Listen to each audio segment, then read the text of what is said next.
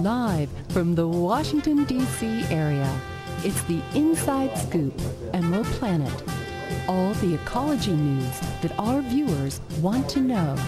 Now, here's your host, Executive Director of the Emerald Planet, Dr. Sam Lee Henn.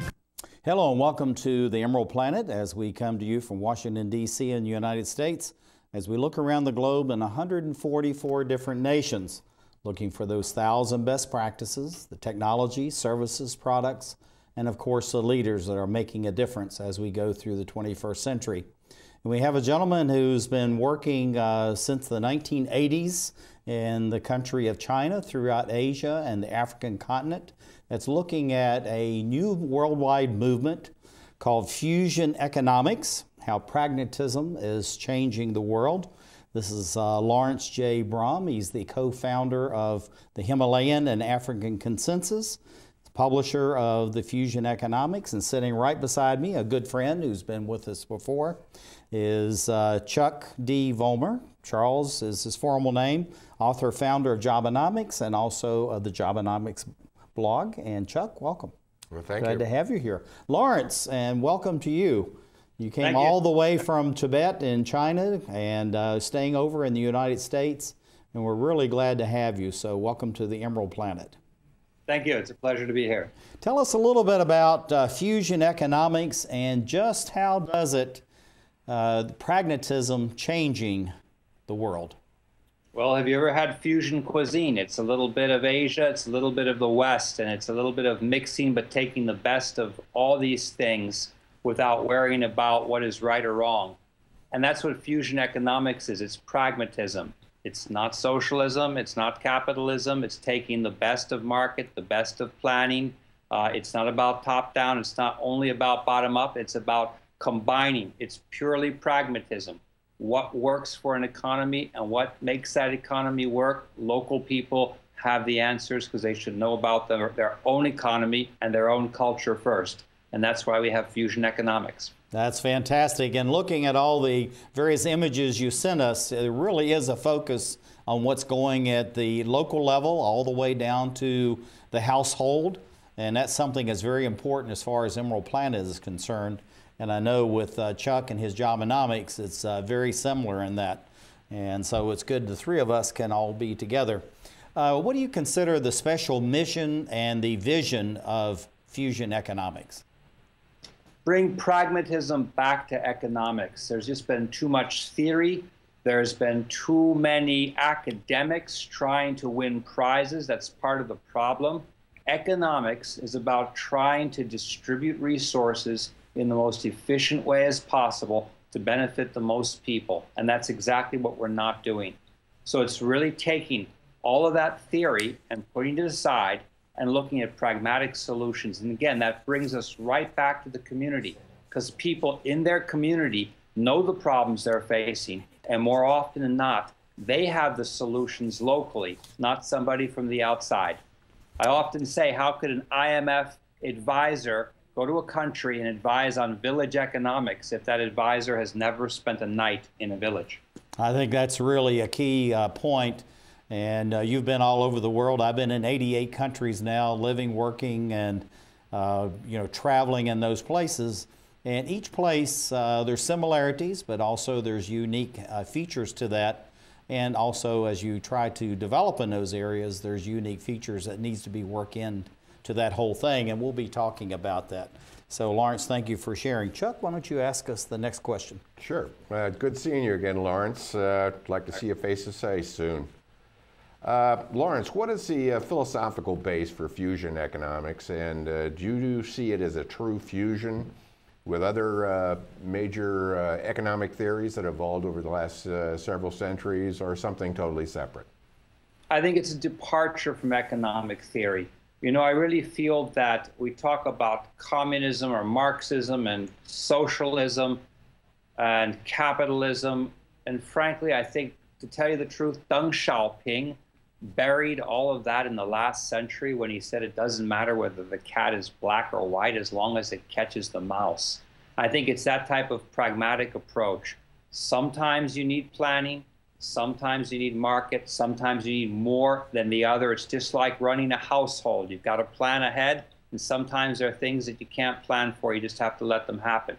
And I think it's being able to take all of that economic theory and said it's contributed nicely, but step aside from it, pick and choose what works. And sometimes you need more, and sometimes you need less. But in the end of the day, you're looking for a middle road, a path between the two. And that's what fusion economics is all about just trying to make people's lives a little better, doing it in a practical, not a theoretical way. Now, the 30 years that you've had in China, it's exceptional what you've been doing there and the fact that you can actually work in Tibet. And then, of course, you've been going across borders to Bhutan and Nepal and these very interesting dynamic societies and very ancient cultures. Uh, what have you learned from your 30 years working there that you've been able to put into fusion economics? Local wisdom. At the end of the day, people themselves have their own rules, their own culture. Culture is a reflection upon their own environment. And while we all have the same needs anywhere in the world, we all have the same needs, we all have the same wants. People are alike pretty much everywhere. However, geographical conditions, other situations that are relevant to the local locality affect the way people respond to that locality. And so you can't take culture and divorce it from economics. You can't take theoretical systems and apply them in a cookie cutter fashion like shock therapy. You really have to look at the culture. You know, I remember talking with Premier Zhu Rongji, and I asked him once, the premier, former premier of China, what do you think about when you make an economic decision. He said the social psychology effect on a herd of sheep doesn't matter how good your theory is, if people don't respond to it, it's useless. And it's really about understanding the social psychology of people. And that gives you the economic results that can take you from one point to another, improve lives, protect the environment, and keep the community intact. Something we talked about when you were in Washington, D.C., and not just related to this interview right now. How have you been able to take the experiences, as you know, as you go up the mountains in places like uh, Tibet and Nepal? There are different cultures depending on what area you are as you go around the mountain. And uh, many cases, I see from your climbing experience, you're going straight up the mountain, and so you're coming across various cultures and almost in some cases linguistic groups. How is that put into fusion economics, and what can you learn by the diversity just going up the mountain? I'm always learning. I'm never teaching. And wherever I go, whichever culture I find myself in, uh, the problems that are brought to the table that are being asked, you know, when I'm being asked to solve a problem, I look to them because they have their own knowledge base, they have their own wisdom, they have their own solutions. And if you bring something in that's outside of the context of their frame of looking at things, it's not going to work. So observation, listening. Um, even when we pro- provided a overall blueprint for China's uh, now very radical departure from hyper growth to now more quality growth for protection of the environment. I did it on the basis of the Chinese five elements, uh, things that people can relate to, they can hook onto. Again, people have the answers to their own questions. You just have to put the questions to them in the right way, and those answers come out. And then from that, you can put together a solution. How do you think the uh, various societies that you're working with, Laurence, blend this whole notion as far as economic planning, democracy, open communications, uh, even free enterprise or the development of new and different types of uh, businesses that blends in to allow people to really be a part of what you're talking about, but still feel like that they have ownership of the outcomes of what's going on through fusion economics. Well, fusion economics is about letting them have ownership. It's really that's the whole point.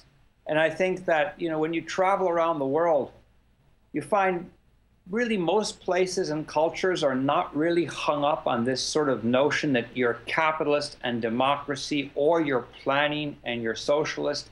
Um, people have already broken these ideas down. Uh, there's very little theoretical basis behind people trying to find solutions for their communities. I think there's the theories of the past are really behind us. People now are looking to try and say, how do we evolve our economy? How do we benefit more people? But how do we maintain the integrity of our community and our culture? And in particularly the part of the world that I work in, the environment is right there. It's right in your face. Uh, the hypergrowth of China has left us with, uh, you know, this terrible pollution and smog. People are now uh, responding against it. Uh, other areas I'm working at, the glaciers are already disappearing and rivers are flooding. So we're on the front lane, line of the fight against climate disruption. And I think that communities are just not worried about theory.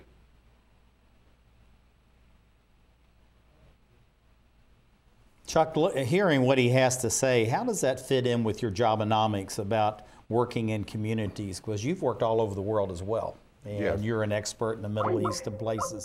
So, how does that actually fit into jobenomics and also working fusion economics? Well, I think the Jobenomics, uh, we're focused on creating uh, U.S. jobs. Now, we've been asked to do overseas as well, but predominantly our plan is for uh, America. And uh, we focus at the base of the pyramid. We want to create about 20 million net new jobs over the next decade.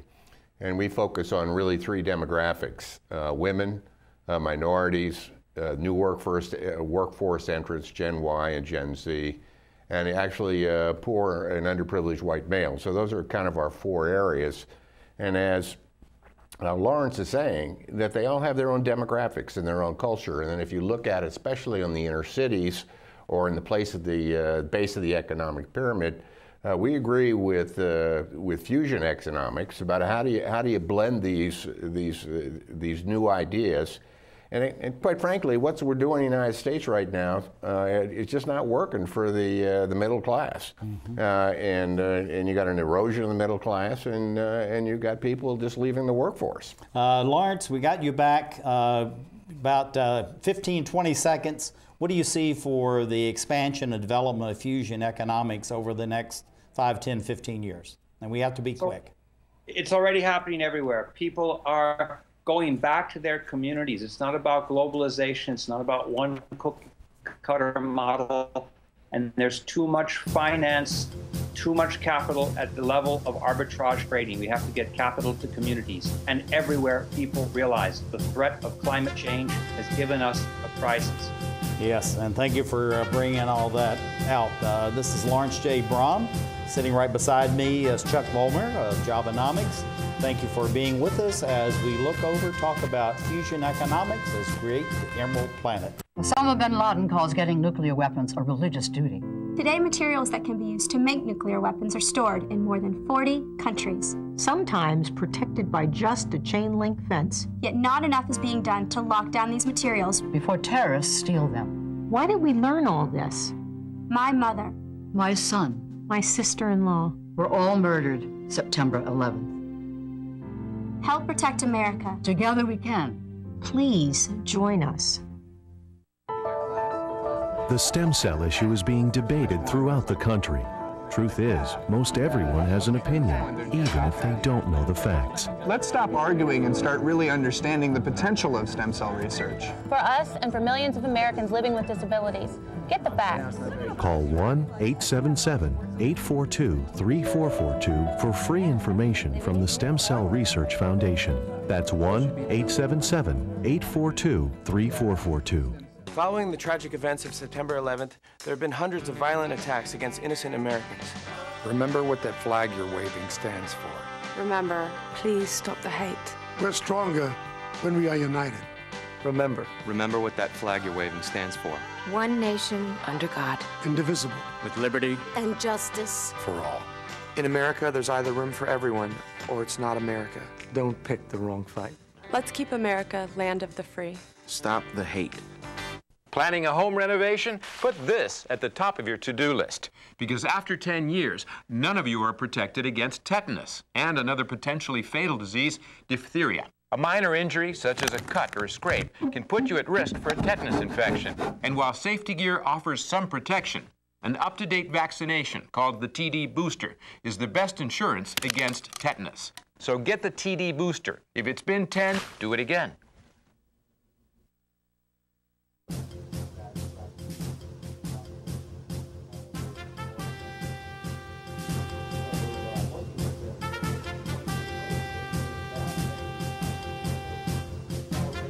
We're back to the Inside Scoop Emerald Planet.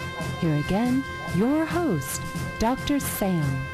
Hello and welcome to the Emerald Planet as we come to you on a week to week basis from Washington, D.C. in the United States. And we're looking for those thousand best practices and, of course, the leadership are making a difference as we go through the 21st century. By 2050, they're estimating we'll have about 9 billion people on the planet and possibly 12 to 13 billion by the end of the century. So how are we going to be able to take care of these people, but at the same time make them feel like that they're actually part of the solutions and we're increasing their quality of living and the style of life that they have so that they're actually contributing to the society within their own community, uh, within their region, and also the nation where they're living. And so we have a gentleman who's uh, coming to us. Actually, he's uh, been living over 30 years now in China. He's been specializing in the area called Tibet, as well as the border states uh, between China and India, like Bhutan, Sikkim, and Nepal.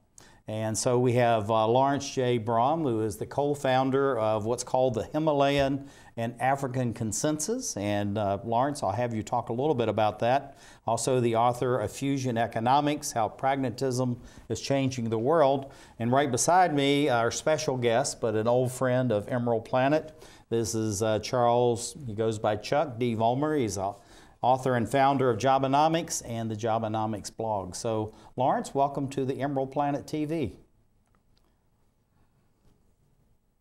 Thank you. Glad to have you with us. Tell us a little bit about this Himalayan and African consensus. What is it? And then we'll go on into the fusion economics. But this is really a very interesting concept of actually bringing together consensus. the African continent and the Himalayas.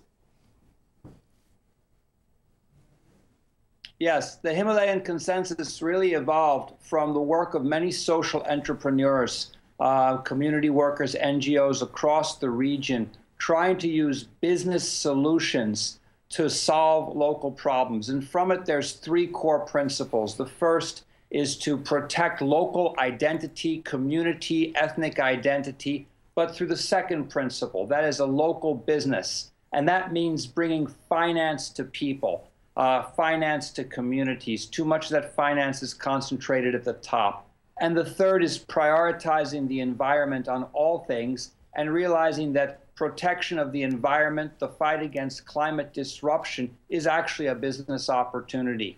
African consensus really started as, a, as an evolution from the Himalayan consensus because so many of the problems are the same. But African consensus added a couple of key points. Food and water are human rights. And also, conflict is not caused by religion. Actually, conflict is caused by the disempowerment of people economically and the marginalization of their identity. And from that, all that violence stems. So, a better way of dealing with violence is to prevent it and preventing it at the economic level. Well, looking at this whole thing of pragmatic idealism, which is really the theme of this particular show that we're having here right now, is that isn't that an oxymoron as far as what you're doing with fusion economics, pragmatic and idealism? Sure. Well, you know, one of the things is I've worked with a lot of activists, a lot of idealists. If you want to get something done, you also have to be pragmatic. You have to have skills and resources and use them together. But if you have skills and resources, but your intention is wrong, they can be used wrong. And so bring the two together. And particularly, I think the young, young generation of youth that I see out there, both in Asia, Africa, and right here in America, are not just about self interest they're also about trying to save the planet that they themselves know will not be sustainable into another generation at the traje- trajectories we're going at right now with consumption and growth. And so there's a whole new shift in values and thinking now. And I really believe that pragmatic idealism is going to be, or idealistic pragmatism will be in many ways, the value system of the future. Yeah, looking at uh, elected officials and uh, thought leaders within the community, how do you think and how do you perceive that they'll actually combine this idealism and then make it pragmatic? So it's really a play on the words as far as how you have this featured in your fusion economics and how that's going to impact on local, regional, national, and international uh, governments as far as the, the future of these various economies. Well, look at what we have right now. We have coming out of the leadership in Washington, D.C., you can listen to the rhetoric on both sides of the aisle. You have something that's not about really pragmatism, it's about self interest. It's not thinking about the greater interest of everyone, it's thinking about the particular interests of individuals or interest groups. It's very different. And we look at idealism versus ideologism. That's quite different. Idealism is trying to achieve something. It's trying to have a vision that's positive for everybody. And you uh, ideology is being fixed into a set of um, fossilized framework and having to stick to only that framework. And so I think that's where we draw the, the line, the difference between the politicians of today that we hear on TV right now in these debates is what I call self interest ideology versus what I think many people in America feel at the community level, particularly youth, is a feeling of pragmatic idealism. It's very different. Yeah, and it sounds so, and thank you for sharing that because the complexity of the 21st century, we can't keep getting stuck. And one of the things is that uh, the politicians will throw at each other your flip flopper on this idea that idea, or 30 years ago you said this. Well, if these people are not changing in 30 years, we don't want to have them elected anyway. I mean, uh, the public should uh, wise up to that whole thing, but as you know, Laurence, that's all about politics. Uh, Chuck, why don't you ask the next question? Yeah, Laurence, uh, you mentioned America. Here in America and in most of the rest of the world, we define uh, capitalism as being kind of rooted in Adam Smith's uh, invisible hand, uh, which translated means if you empower the individual to pursue his self interest, the spin offs will benefit uh, society. Uh, would you agree with that or not? Well, I, if you read Adam Smith's Wealth of Nations, which is a, at the time, it was a radical condemnation of the alliance between then, at that time, trade monopolies and government. He used the term um, invisible hand only once, one time, and it was to talk about communities. It was to talk about self interest of people to put investment back into their own community. So, Adam Smith would be really an icon for diversified localization, not for monolithic globalization he would be condemning all of the uh, overseas investments that have taken jobs away from America. He'd be talking about keeping those jobs in communities and keeping those communities intact and giving them strength and giving them an economic sustainability that will make those communities to continue to have an identity of their own. That's what Adam Smith was talking about when he said the invisible hand. Uh, Laurence, looking at your uh, pragmatic idealism, and you're talking about communities right now, Emerald Planet as well as Jobenomics really focuses on the community, but all the way down really to the household level. And I noticed through all the images that you've been able to share with us, there's really a lot of these very localized, family based uh, activities that are going on. How do you infuse this pragmatic idealism at the household? and then at the community level in places like Tibet, Nepal, Bhutan, all these other uh, areas, these border states, as well as on the African continent. Pragmatic idealism begins with the home, and most often it begins with the mother.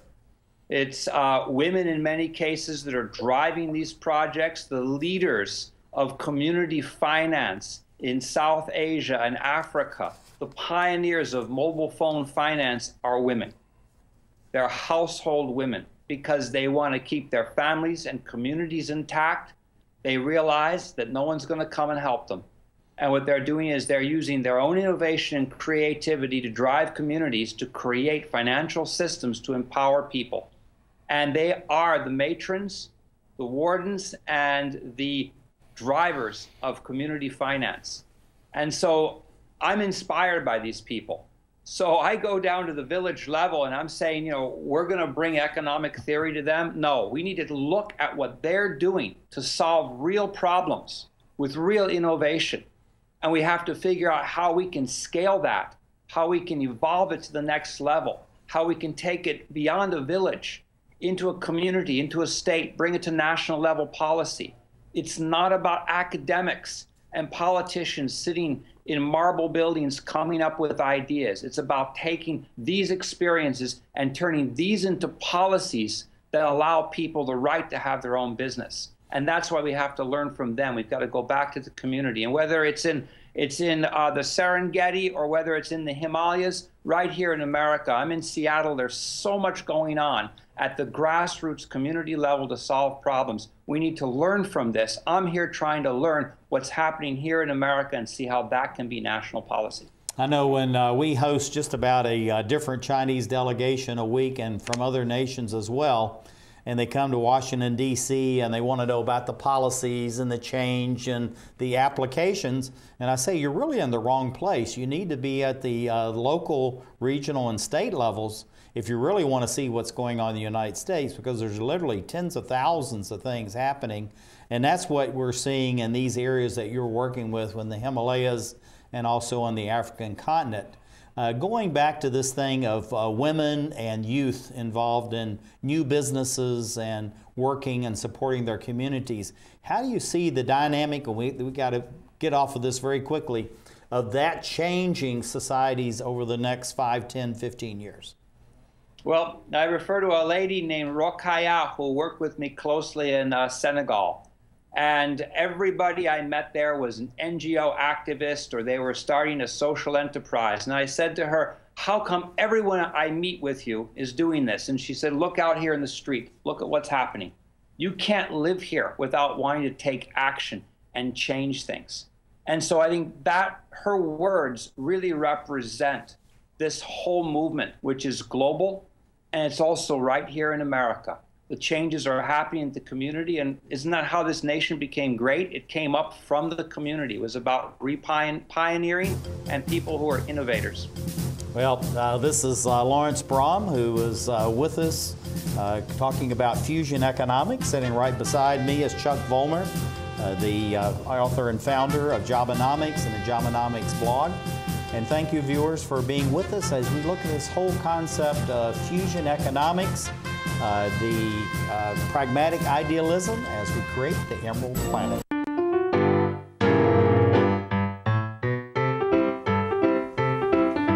More than just books at the library.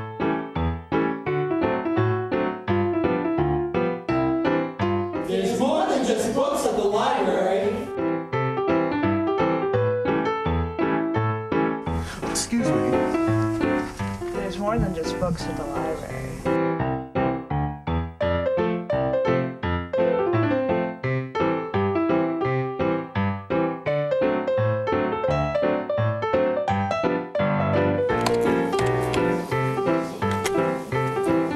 Il y a plus que de livres à la bibliothèque. Hello. You have a lot of great books here today. You know there's more than just books at the library. I know. There's more than just books at the library. I don't want to be hooked to a machine. I want all the medical treatment available to me. I wouldn't want my family to have to make this decision. My doctor knows what's best for me. An advance directive is your life on your terms. Talk with your family. Decide what's right for you. Then put it in writing.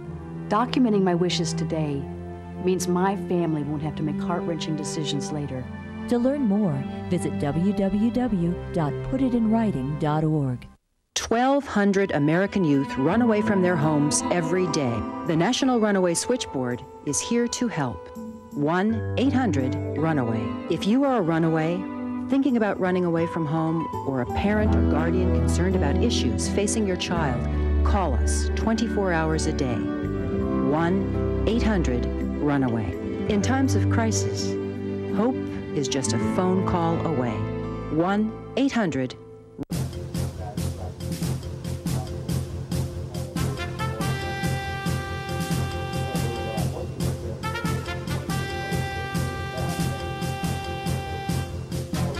We're back to the Inside Scoop Emerald Planet. Here again, your host, Dr. Sam. Hello and welcome to the Emerald Planet as we look for those thousand best practices, technology, service, products.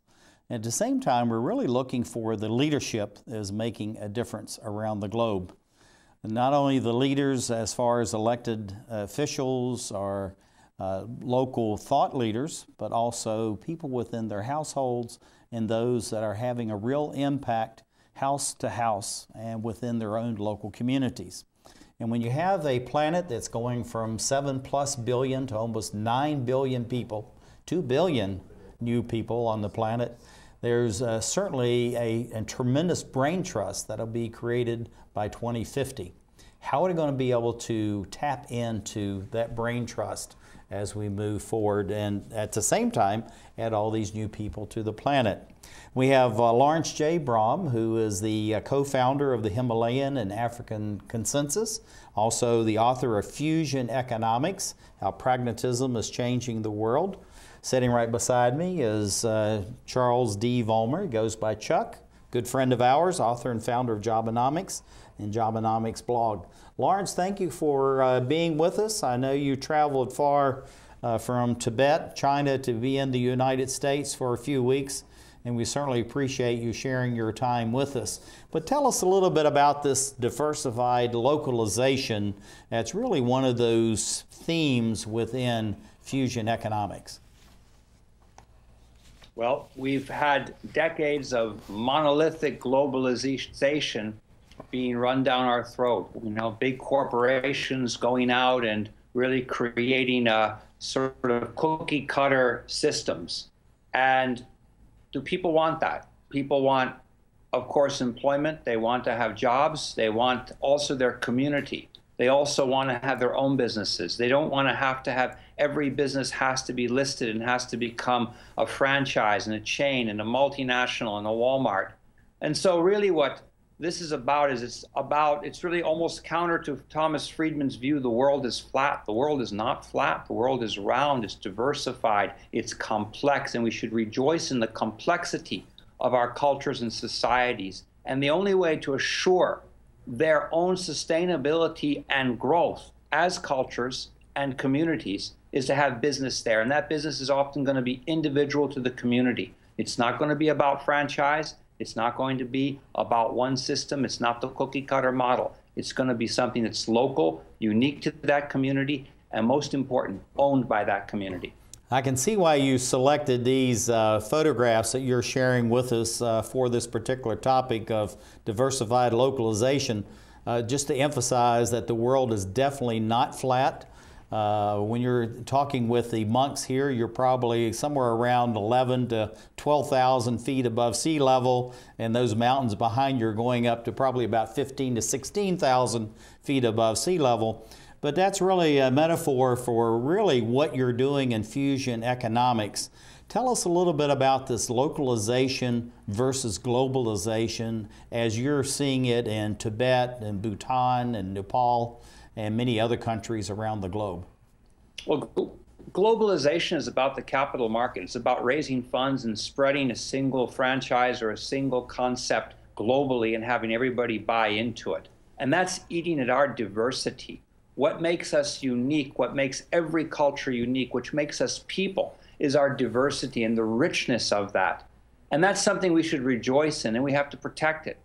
And the best way to protect it is to build businesses in communities and let those businesses grow, not to assault them, not to have trade agreements that open up communities and kill the businesses there and break down the culture integrity of those communities. You know, we think about what makes us rich, what makes us happy. It's not only just money, it's also being able to have a sense of family, community, knowing your people, having your culture, having your identity. And all of these things are also business opportunities for each community, each neighborhood. And so this is really about how to get capital to people, to protect what they have, and to build that identity. And each identity is unique and needs to be protected. It's not just about monks in Tibet. It's not just about Maasai and the Serengeti. It's also about people in communities like where I am right now. I'm in Seattle. There's a lot of diversity. There's a lot of uniqueness in each community here. People are opening up small bookshops, coffee shops to try and protect that. It's all across America even within our country here, we have a huge amount of diversity. And that's something we should rejoice in and we should strengthen. And the only way to do that is to get some of that capital out of the top of those capital markets and get it back down to the communities. That means rechanging our financial system and bringing back a little bit of old fashioned banking, a little bit of old fashioned finance so communities can be empowered and own the finance that they need. It's not about being against business, it's about being against those forces that don't allow people the right to have their own business. Yeah, it's really it's about uh, being for business, but also being for business within local communities and allowing them to shape their own future and be part of what's happening as we change and add two billion new people to the planet by 2050. Chuck, your question. Yeah, Laurence, as we talked uh, over lunch the other day, uh, that uh, Jobenomics is involved with uh, a national grassroots movement that deals with uh, international, national, state, and local agencies with an emphasis to create small and self-employed business at the local le- uh, level. Uh, how would you recommend to this audience, uh, how do you motivate these agencies to uh, promote local solutions? Right now, we have to employ people. You know, there's about half of America is living on about thousand dollars. You know, people have about thousand dollars to their name. You know, that people are, are locked into debt people are dependent. Uh, much of the so-called employment that's been created over the past eight years are only part-time jobs. And so really, it's about finding ways to get finance to people so that they can create their own jobs. They can create their own businesses. We were uh, just, you know, the other day we were talking about the conscientious community efforts in Baltimore. This is about creating community businesses, whether that involves something as simple as a person who's your neighbor, you trust them. They can go next door. They can actually uh, be a housekeeper. They can be a babysitter. You can create businesses at a very, very micro level. And that's something to be proud of. It's not something to be looked down on. Not everybody has to be working for Starbucks or for Amazon. It can also be about creating these small businesses. And so, in many ways, it's the micro businesses that are going to employ people more and faster than some of these very, very monolithic, you know, globalized industries. And it's again about how our government can rethink our financial system and get capital to people. All of this quantitative easing, which is debt money, has gone up into the capital markets. It's created huge leveraging of our stock market and huge volatility because of speculation. But none of that has gone to the community and moreover, building a new infrastructure for our communities of renewable and efficient energy that can even create free energy from solar, from geothermal, and from wind is a huge opportunity that can put a lot of people to work. And that opportunity is not being taken. Our government is not doing anything to promote these new fields of innovation that can actually protect our environment and employ people. Chuck, you have a follow up. Yeah, uh, Laurence, uh, as uh, we uh, talked again uh, the other day, uh, we agree. 80% of all the businesses now are in the United States are micro and small businesses. again, how do we get the government to change their focus from government jobs or big business jobs? Of the $17 trillion that was put in the U.S. economy by the Federal Reserve and the, the Treasury Department, about 95% went into big business and big financial institutions. Mm-hmm. And again, according to you in uh, localization, it would have been nice if 95% would have gone into the local community and micro business creation. Look, I, I, you know, a few months ago I was in San Francisco and I was at Twitter headquarters, and this is all about debt. It's all about that quantitative easing being pumped into the banks. They are flooded with money. They're throwing it at all kinds of social media just tradable commodities. These stocks are like basically trading future soybeans. It's an opportunity in a hope of something in the future. On the street outside, you have so many people unemployed, living in the street, their homes taken away from you. This is wrong. We have to readjust the funding. Funding has to get down to community finance. It can be small finance, it can be microfinance, it can be small banks, community cooperatives, but we've got to get money to people at the local level. It's all going into Wall Street, it's all being traded at the top, and it's all going to just a few tech, so called tech companies or social media companies, or it's being speculated on currencies. With the tapering, all of the BRICS currencies began to have volatility because it was all over speculated. And none of that money went down to the community, and none of it went into the infrastructure that would allow businesses to exist in that community and give people jobs. Our infrastructure is hopelessly outdated. And so this is, again, it's about money coming down. That's where federal policy has to do. We have to support our local local banking system and reinvigorate it with new and creative financial mechanisms to give people not just jobs, but to give them the funding to create their own businesses, which can create more jobs. Yeah, in my 88 countries I've uh, lived, traveled, and worked, uh, Laurence, and of course Chuck and I have talked about this many times. Many of these stock markets, really, it's like going to the casino. People are just gambling uh, within these areas. It's not really about investment. It's not really putting money into communities, whether it's local or regional level. And so we have to get away from that. But looking at social enterprises, describe for us, and we're running out of time again, too much to talk about. Uh, but uh, social enterprise, what is it, and how you see that really rejuvenating or uh, expanding businesses within the areas you're working, Tibet, Bhutan, uh, Nepal, places like that. And we have about oh, 50 seconds to do all that.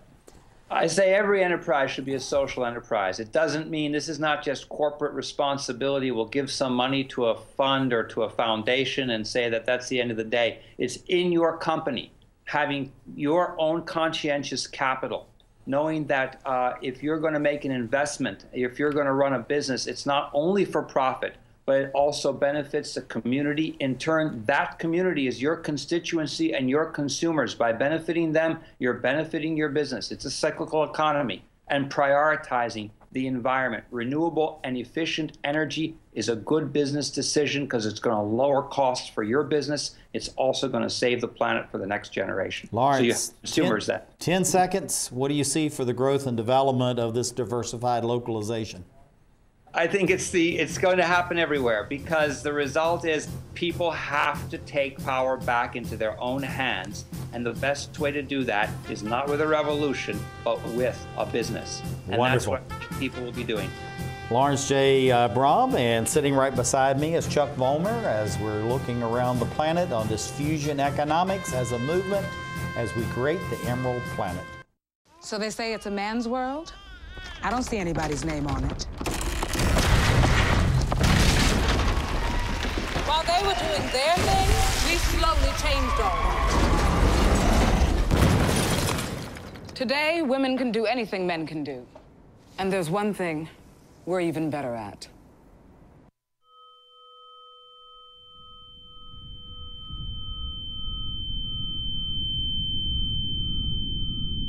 Open enrollment is back. Enroll Virginia wants you to get covered for 2016 and beyond. You have until January 31st to enroll in affordable health care. If you wish to have coverage by January 1st, you must enroll by December 15th. That's less than a month from now. Remember, the penalty for not having health insurance next year is a minimum of $695 per person. Don't think twice about it. To find an enrollment event near you or to get free help with the application, visit our webpage or give us a call. El periodo de inscripción ha comenzado. Enroll Virginia quiere que tú y tu familia tengan cobertura médica este próximo 2016. Tienes hasta el 31 de enero para inscribirte. Si deseas cobertura desde el 1 de enero, debes inscribirte antes del 15 de diciembre. Recuerda que si no tienes cobertura el próximo año, te multarán una suma mínima de 695 dólares por cada adulto. No lo pienses más y visita nuestra página para más información o para ayuda con la solicitud. Hey, Hard, what's this? That's my resignation letter. You're resigning? Why? Because you're constantly ignoring me? You're half as active as you used to be, and you eat stuff like this. You've been putting me under a lot of pressure lately. That's why I'm ready to quit. I, I forgot. I'll, I'll do better. Please, don't quit on me. Okay. But remember, it's not what you say, it's what you do. Listen to your heart. Don't let it quit on you. Let's go for a walk. Uncontrolled high blood pressure could lead to a stroke, heart attack, or death. Get yours to a healthy range before it's too late.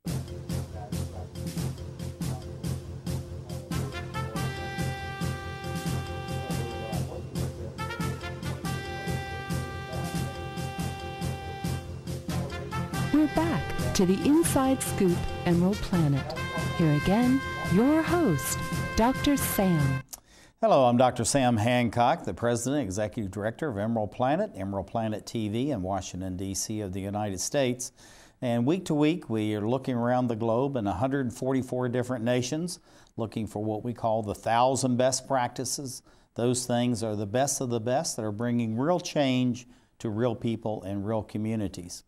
And we're talking about fusion economics. And we're talking about it from the standpoint of how does it bring change within local communities, but many times is how does it protect these local communities so they can mature, advance, and provide the incomes that they need that in some ways protects them from the globalization that's really the mantra of what's all about as far as economic development around the globe.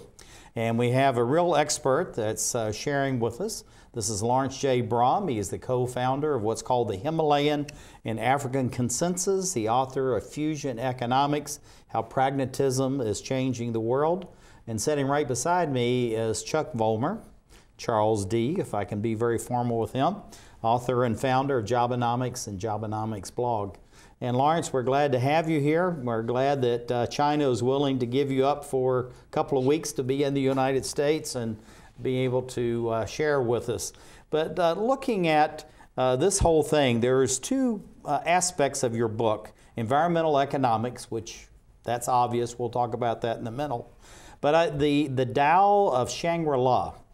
How does the Tao, which is really a very ancient uh, philosophical, also it's a mystical or religious uh, ideology that's been developed over thousands of years. How does that really fit into economics in the modern 21st century? And then how do you work that in fusion economics itself? Well, the Tao, it's a Chinese word that means just the way. That's all. It's the way, it's a natural way. And really, economics is quite natural. We're looking at natural limitations of our planet. We can't go beyond those boundaries. We can't stress our resources and our planet any more than we are. Uh, if we do that, nature will react against us. And so, you know, I often say each ethnic group that I visit in the Himalayas all has their sacred mountain. They pray to the mountain because they know that nature will in turn protect them. It's about mutual protection. Protecting our planet protects us. Protecting our resources, our water systems, food security, it's all interconnected. And so that's all about economics and how you make that economics work for food, water security, and health security. And um, if you bring it into a modern context, the Tao or the way is as applicable today in modern America as it once was in ancient China. Yeah, and it's still being used in that society and uh, most Asian nations. Uh, we have this little map here of the mythical Shangri-La because that's all part of this, the Tao of Shangri-La as it relates back to environmental economics. And many people are saying uh, protecting environment just costs money. It's not really something we're investing in. It's not a way to really protect societies. But I think through what you're doing with your fusion economics, you're really counter to that whole concept. So, how is the smart way of investing and combining the environment and economics the way forward as we move uh, through the 21st century towards 2050? Get rid of fossil fuels, get rid of coal. That's a huge business opportunity. Regridding our cities is a great opportunity for business. It is not a threat to business. The only challenge is how to grab that opportunity. think of cities where all of those glass windows can each be a solar panel, and you're talking about buildings that produce electricity rather than consume it. Now you're talking about free electricity. Think about what one of the biggest costs to every business is electricity, particularly as we're in the internet age, we're using more of it, not less of it. And if that's coming from coal, if that's coming from petroleum, fossil fuels, we are going to burn out this planet but the opportunity. You know, in Chinese, they say the word crisis combines two characters. One is danger, the other is opportunity. Protecting our planet, renewable and efficient energy, water conservation, recycling systems are all business opportunities, and they're going to create a lot of employment, not only for blue collar workers who are putting the gadgets together, but all the way at the PhD level innovation. It's an opportunity for everyone.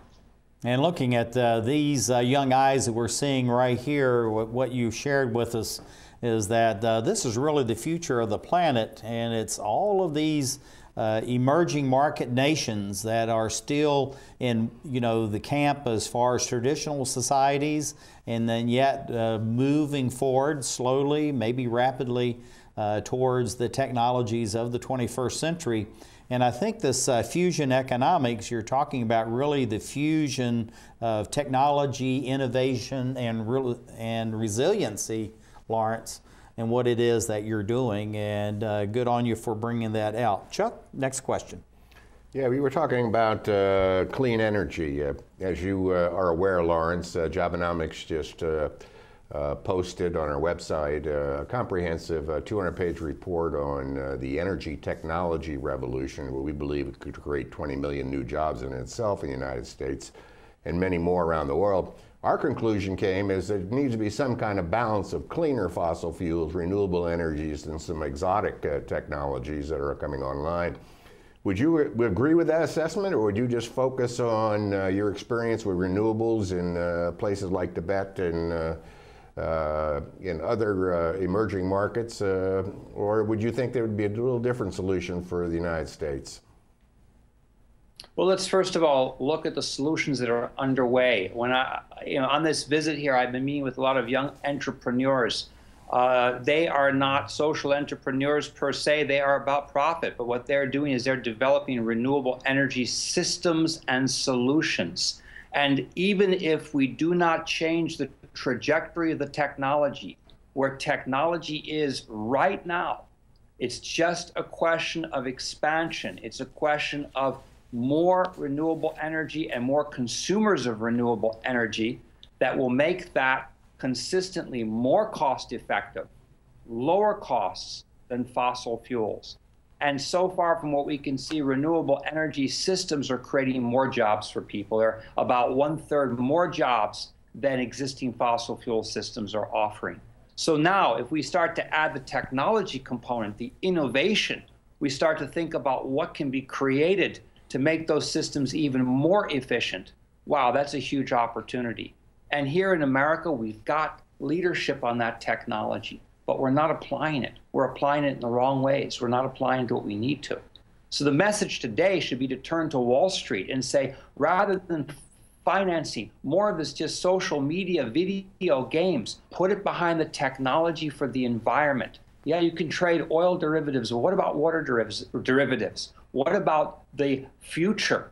Uh, because one day water is going to be more expensive than oil. Yeah, and that's what they're saying is water is the new oil, and that's where we're going in society. And also, too, Laurence, you're absolutely right, is that the cost for uh, solar systems, even wind, now is uh, some 80% less than it was five or six years ago. And the efficiencies are going up, the cost is uh, just really dropping. And the whole thing is that we need to invest and, and provide jobs for people in the local communities because uh, those types of jobs you really can't outsource as you're uh, taking the solar panels to the top of the roof or the backyard or whatever it may be. But uh, the United St Nations uh, Conference on Climate Change, the COP21, you were there. That was in Paris, France. And this really was an earth changing event as far as commitments by the some 200 nations and territories on the planet to work together as we go towards 2050 and uh, bring about more energy efficiency, but also to stop climate change. Which nation do you feel like is really leading in the renewable areas? And what kinds of things are these renewables uh, directing towards as far as replacing the fossil fuels? Well, you know, the most unlikely candidate to lead is China. You know, it's really, I like to say, is Kung Fu Panda going to save the universe? Maybe it will. It's the biggest consumer of energy, and it's the biggest, uh, you know, creator of carbon emissions right now. But at the same time, the government has realized that high growth is not bringing prosperity and health to its people that in fact it's going to create a lot of social political instability because of the pollution and the costs involved in repairing agriculture and water systems and health systems all damaged by the high growth and the carbon emissions that have ruined uh, the country. And so this past April, I was leading the, the, the task force on this, the ecological civilization uh, plan is basically going to involve massive, massive investments into renewable energy. Coal is 70% of China's energy source, and that is enemy number one. So it's going to involve wind, solar, um, water conservation, red lines to protect natural boundaries, natural areas, marine areas, and of course, a rethink of the construct of growth itself. Is GDP a good representation of a healthy economy. Many people in the leadership in China say it no longer is, and we need a new construct of growth, a new way of measuring success, which is not just material outputs. Now you're talking about uh, we need to invest in uh, creating new jobs uh, like uh, agriculture, renewable energy, and all that. But how can we use, just like the, uh, the photograph I had up here, the social media? If we can bring that back up, how can we use that to go back to these more traditional forms, which in many ways have some of the most advanced technologies, but processes as far as uh, vertical farming and many other ways to create jobs at the local level?